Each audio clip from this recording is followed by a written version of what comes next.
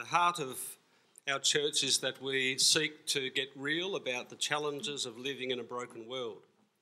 That we invite the presence of God and Jesus into our everyday struggles. We don't seek to paint life other than it is, but also we are clear about the restorative power of Jesus in broken hearts. And today we've heard about some situations where God would speak to us and go before us already. And God does that too through the Word of God. And the Holy Spirit comes, and one of the ways He speaks to us is to convict our heart and to ask us to go further and deeper. And sometimes we are enjoying the presence of God in ways that are celebratory, and other times God is pushing us in very, very hard ways very deep ways. And those are the places that the power of God is needed even greater. And today, Jan is going to share with us an area that uh, is that order of things.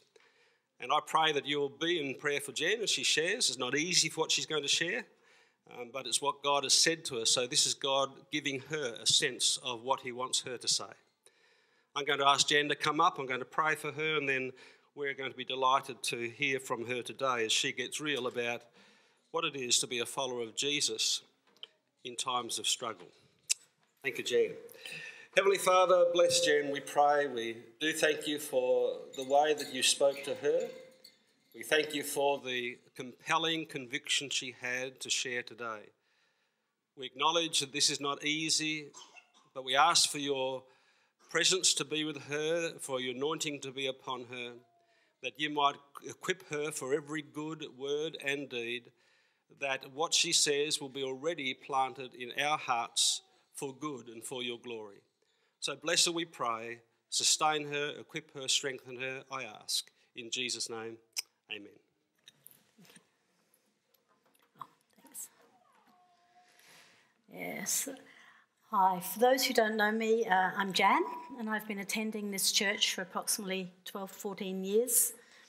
My main area of service is in children's ministry, and so you'll find me virtually every Sunday out in the creche area, as well as running play and chat on a Thursday. So I work as a self employed accountant, hunched over a computer all day long. So you'd think I would be pretty au fait with technology, wouldn't you? No. Sadly, this is about the limit of my knowledge, and I can probably even mess that up today. So, when it came time to do this little talk today, I went looking for some images to put up on the screen for you. And I wasn't quite sure what to do, so I approached Scott. And, you know, he started talking about how I could do these pictures, and he must have seen the glazed over look in my eye. And he said, Oh, Jan, Jan, just put them in a Dropbox for me. I went, uh, Dropbox, Dropbox. Um, and you know, the only thing that came to my mind was the long box. And, oh, sorry, the long drop. And I thought, I don't think that's the kind of box Scott's talking about. So, and didn't Scott look amazing today? You, you missed him in the first service. He actually had a jacket on that matched those fancy trousers. So he scrubs up pretty good. He must have got a bit of ribbing though, because the jacket came off for this one. So I have to thank Scott very much for the um, images that are going on the screen today. I, I did go looking for them. I got them myself. Um, I went on Google. Isn't Google a wonderful thing? You go on to look at a two-minute film clip. You come off five hours later with visions of monkeys riding on bicycles. You can waste a lot of time on there. So, anyway, I googled Mother's Day. What a variety of things that came on that screen. Hundreds and hundreds of images. Some very sweet and twee and saccharine and lovely. Some millions of them that said mom, M O M, my pet hate. And there were some vulgar things, some not very nice things. So the internet can uh, and play havoc.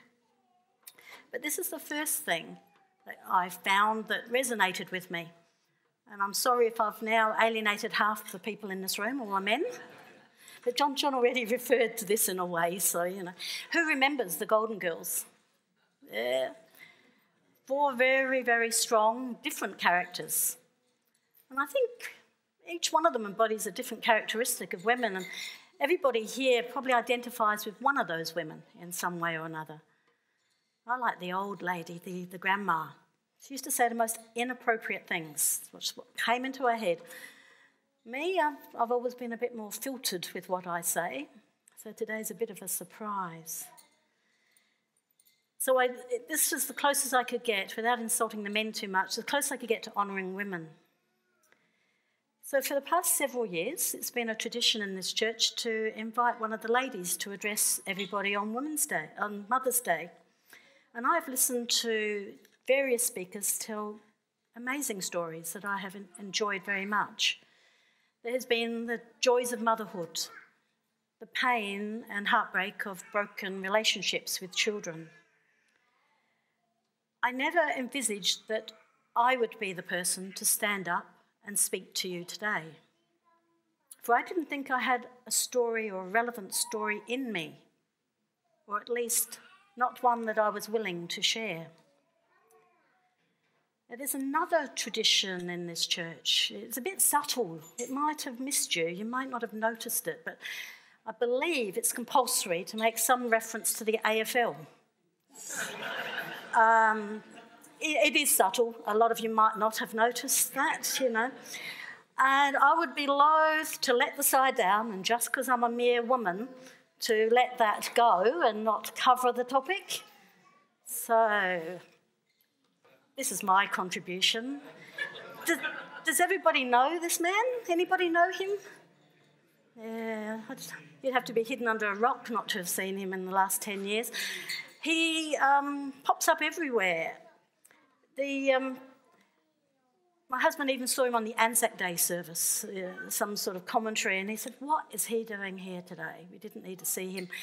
So, does anybody know his nickname? Yeah, my husband's got a lot of nicknames for him. Um, I probably can't repeat them here, but Eddie Everywhere is the one nickname that everybody knows. And I must admit, I'm starting to feel a little bit like EBC's Eddie everywhere because I think I've had more than my fair 15 minutes of fame up here on the platform. So I hope you'll indulge me this one last time as I talk to you about a matter that is dear to my heart. First of all, I have a confession to make. I am a glossophobe. Does any of you know what that is? Oh, you're as dumb as the first service. None of them do either. and as dumb as me, I didn't know. I knew I was glossophobic. I just didn't know there was a term for it. So it's a fear, the biggest fear that man has.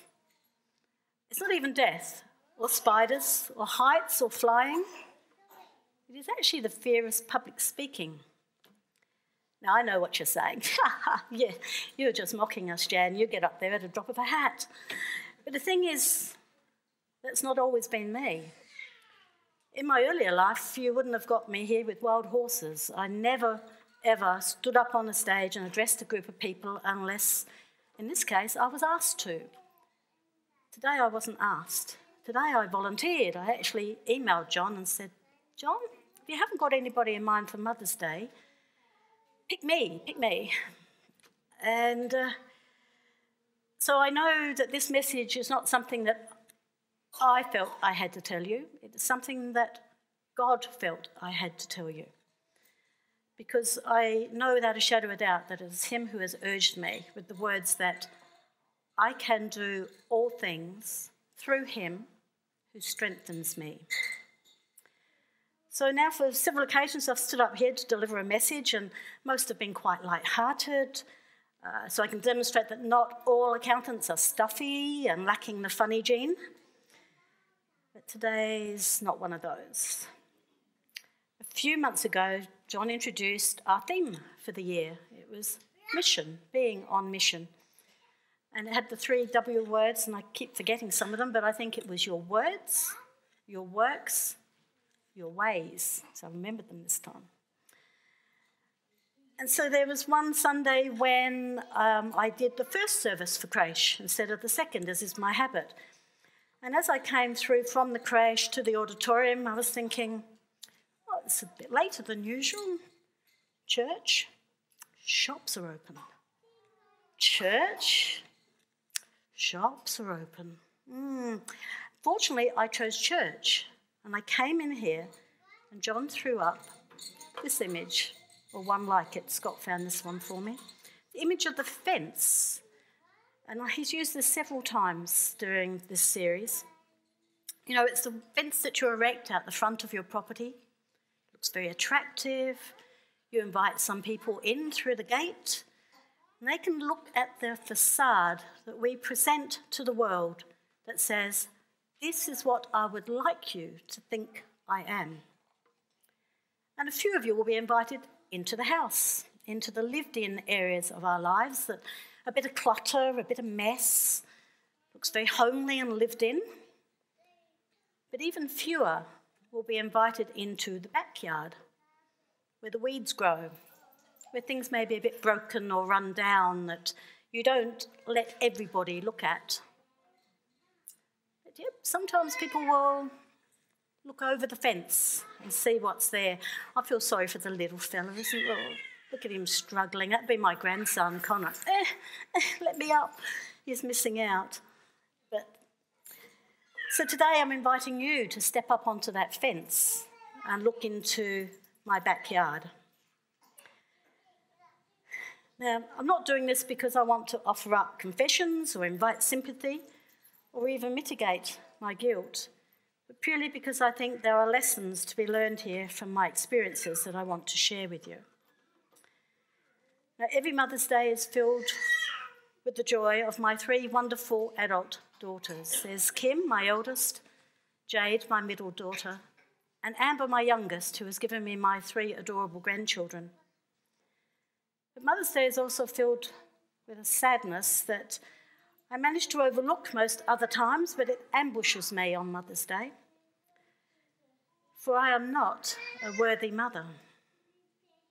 Every three months, when I go to the blood bank and I donate blood, I have to fill out the same questionnaire, the same old questions. You know, yes, I am still five foot nothing.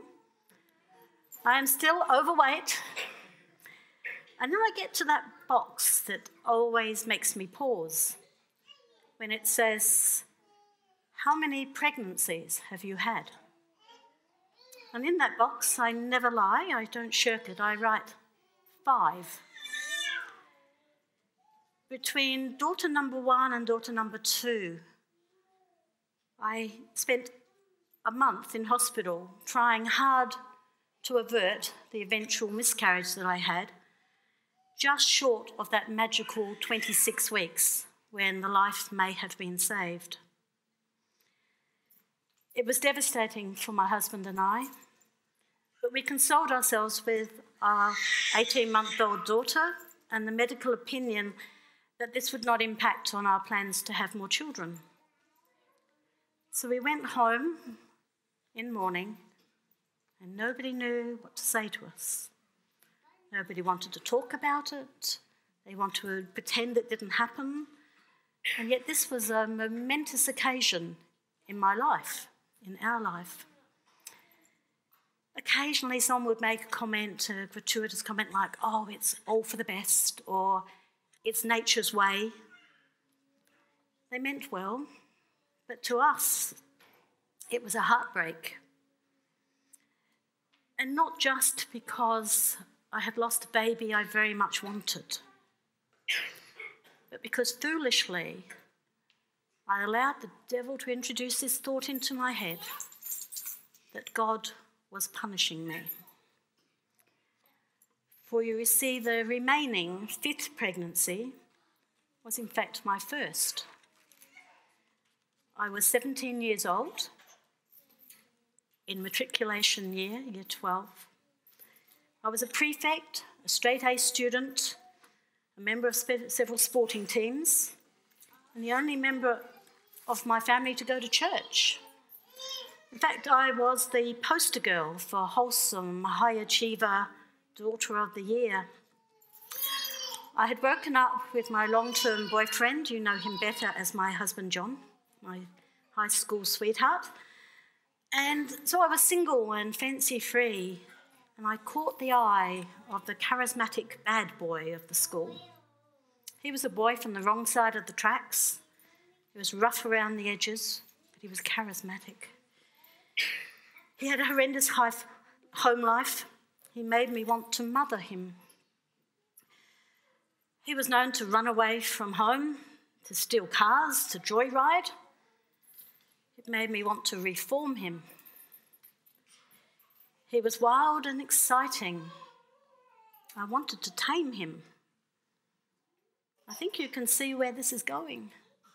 Sadly, instead, at 17, I was alone and pregnant. Now, I was whisked away to Melbourne to some fancy doctor's rooms in Collins Street, and a doctor said to me, Why are you here? And I couldn't say a word. I couldn't voice why I was there. And a kindly nurse said to me, Are you pregnant, dear? And I said, Yes. And she said, Don't worry, my love. We'll take care of everything. And so they did. My parents thought this was my best option. It would give me back the life they thought I was destined to live. And it did. I matriculated. I went to university. I graduated. I made up with my boyfriend, John, not the bad boy. Let's be clear. I had my career, I got married, I had a family. I lived up to my parents' every expectation. But at what cost? You see, I could never erase those events from my memory. I was filled with shame and guilt and self loathing for taking the coward's way out of that situation. I didn't like myself, and I didn't think anybody else could, including God. I never asked for his forgiveness, and I never forgave myself. Until I went to Lifewell Conference several years ago. And during the anointing ceremony, I was knelt in prayer, and I was felt the need to confess my sin to God, to ask his forgiveness. I shed some tears, but I rose that day as if the weight of the world had been lifted from my shoulders. Now, right now, some of you are going uh, TMI, Jan, TMI. Some in this service might actually know what that means. Nobody did in the last one. It means too much information, Jan. Or as Marilyn Reynolds, bless her soul, said to me, J E I, Jan, just enough information. Bless her soul. Some of you will say, I didn't need to know that at all. Why am I sharing my story today? Well, why didn't I keep it private, locked away as my own guilty secret? Well, God moved me all those weeks ago to share this story, for I believe there is a message in it for all generations. So, for the youngsters here today, I too was young and foolish consumed by love that I thought was special. And my silly old parents, they wouldn't know anything about that. I didn't appreciate the significance of the fact that I was wondrously made, that I was knitted in my mother's womb, that He made me and loved me as I was, His unique creation. I didn't value myself enough, and I took to people pleasing instead. So to you I say, you are unique, you are precious. God loves you, and He respects you. So love yourselves, respect yourselves. Don't allow anyone to persuade you to do what you know is not right for you.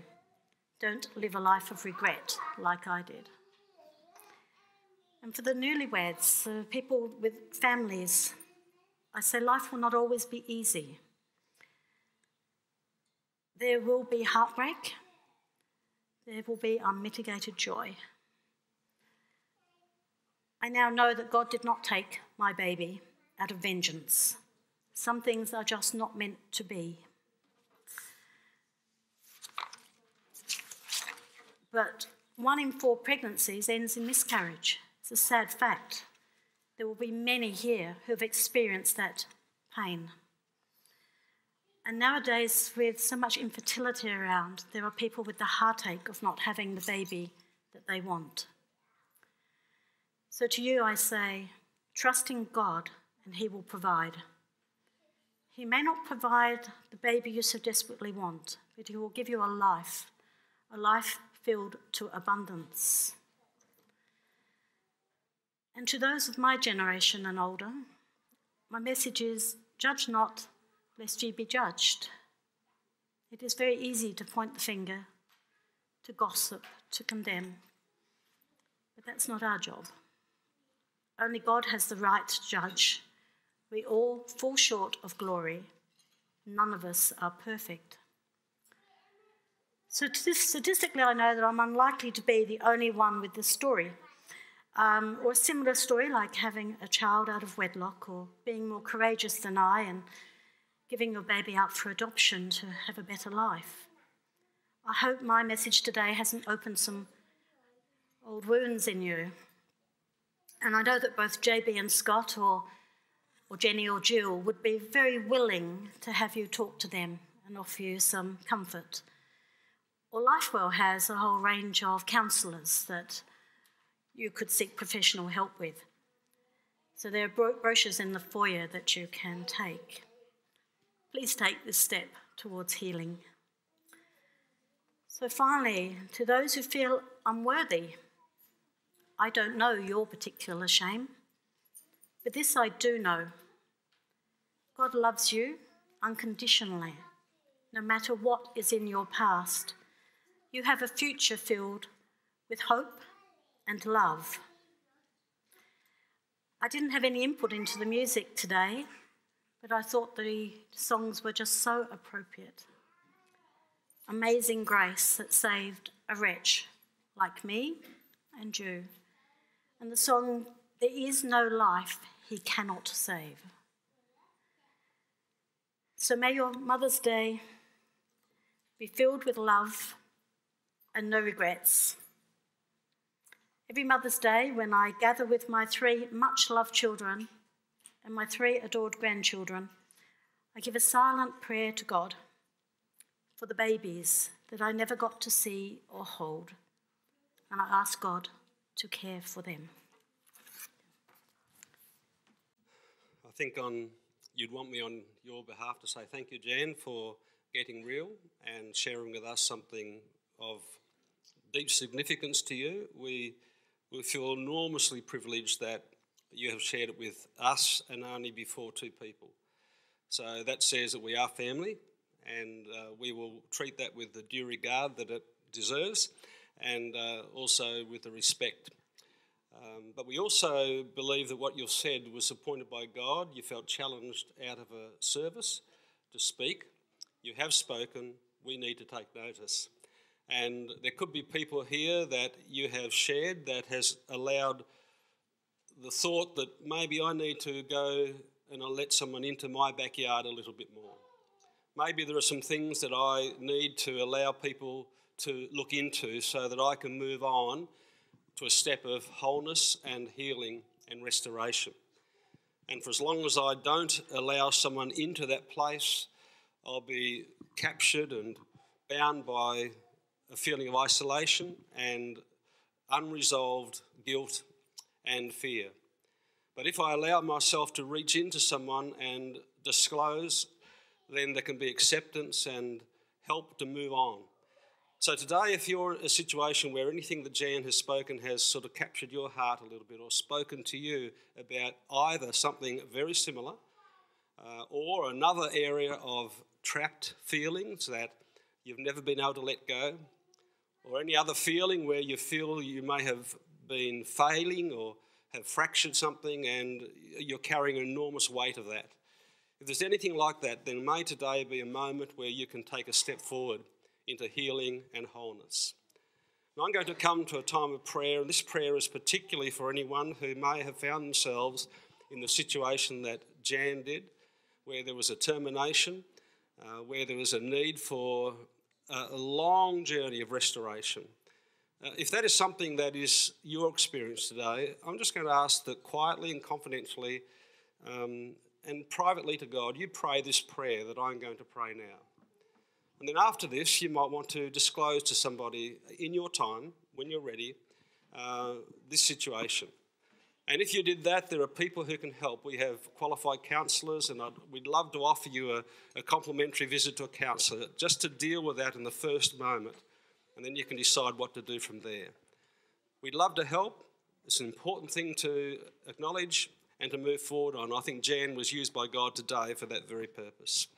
So if this is where your situation is, your heart is, you pray these words as I pray them. As I say, this is a, a prayer for someone who has had a termination, an abortion. But this might be something for you in a great sense of loss or a great sense of guilt or shame that is upon your heart. So let us pray that God would heal. Father God, my heart feels torn apart. I do not fully understand why or how this happened to me. I still struggle with the memory of this action, and at times I feel little strength left in me. And so today I come and I cry out to you for help, loving Father. In the name of Jesus, I, I cast my burden upon you and ask that you care for me. I unfold my past before you, I acknowledge it. And I ask for your perfect peace to overflow into my hurting places. Forgive me for any undisclosed actions or failures or fractures. Father, your word promises that the Lord is near those who have a broken heart. Help me bear this agony and the mental stress that comes from this, and restore me your joy and your peace of mind. Father, I know that your ways are wonderful, so lead me by your Spirit into deeper experiences with you and make my life a faithful one and a fruitful one. Lord, I commend every thought and every situation of mine into your loving hands. Create a clean and right spirit within me. Teach me your ways that I might teach others to obey you. Help me be one who can show others a way forward, even though the way forward may not seem clear.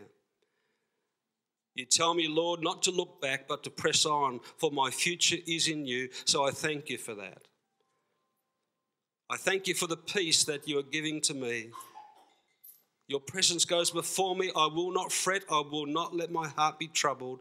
And this memory that I have, I ask that you renew my mind by your word that I might see a way forward and not be gripped with this consuming thought. Thank you, Father, for being with me during these hard times and for now your assurance of joy and peace. Help me renew my mind that I might pull down any strongholds that will try to keep me from doing your will. And now, loving Father, I ask for your forgiveness. I know that when I confess my sins, you are ever faithful to cleanse me and restore me and move me on and help me not remember them anymore. And even if my heart condemns me, Father, you are greater than my heart. You are love, and perfect love casts out all fear. Father, you have good things ahead for my future, and you have promised to meet all of my needs. Father, for each child who has been terminated from the mother's womb, I pray that their place and presence in Jesus' heaven might be one of full blessing and full peace. And so, Father, I thank you for your presence and I thank you for your healing power. In Jesus' name, amen.